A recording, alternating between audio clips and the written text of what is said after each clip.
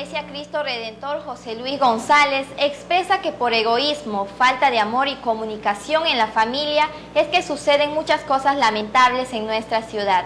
No es su mal, a veces nosotros mismos somos los que provocamos, porque por ejemplo el dengue, ¿cuántas veces nos dicen no dejen agua estancada, la vasija pongan la boca abajo y nunca no hacemos caso a esto? Y a veces no hacemos caso y pues nos llevamos de, nuestro propio... A veces somos tan egoístas que no pensamos en el otro, por eso muchas veces puedo quitarle la vida al otro. Si realmente... ¿Egoísmo tenemos? Yo creo que el egoísmo, porque si tuviéramos este amor de Cristo, que era lo que yo le decía al presidente de la Corte, que si tuviéramos este amor de Cristo en nuestro corazón, dice San Pablo, que el amor nunca puede hacer daño. Por ejemplo, el amor no puede matar al otro. Por amor, yo no les robo. Por el amor no le quito ni siquiera la, mujer al vecino. Por amor respetaría, ¿no? Principios de amor hacia nuestro prójimo, eso es lo que nos falta, Y yo creo que nos faltaría mucho y muchas veces pensamos, pensamos más en nosotros mismos que, en el prójimo.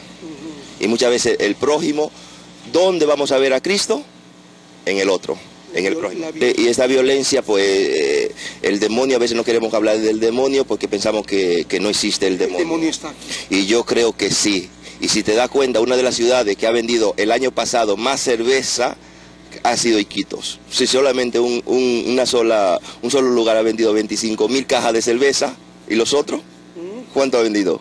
El demonio. Entonces, no quiere decir que no se tome una cervecita en familia ¿Qué es lo que nos falta? El diálogo con la familia. Pues yo espero que sí, que la familia, que si van a ver esto, que dialoguen con sus hijos, que se sienten, el domingo es un día del Señor, pues un, día para dialogar con la familia. Y yo espero que ese día no se emborrachen celebrando el día de San Valentín, porque no creo, si San Valentín, yo no creo que, si San Valentín, no creo que se vea emborrachado. Y que lo podemos celebrar, claro que sí, a veces pensamos que si no nos tomamos 20 cajas de cerveza, no somos felices, y es mentira. Podemos ser felices con un vasito nada más y celebrar. No en contra de la borrachera, pero yo creo que la borrachera... El principio de todos los males y nunca nos va a llevar a cosas buenas. Un borracho muchas veces no sabe lo que hace. Definitivamente que sí, y estamos de acuerdo con el parro. Pero también en España se toma por sombra mucha cerveza.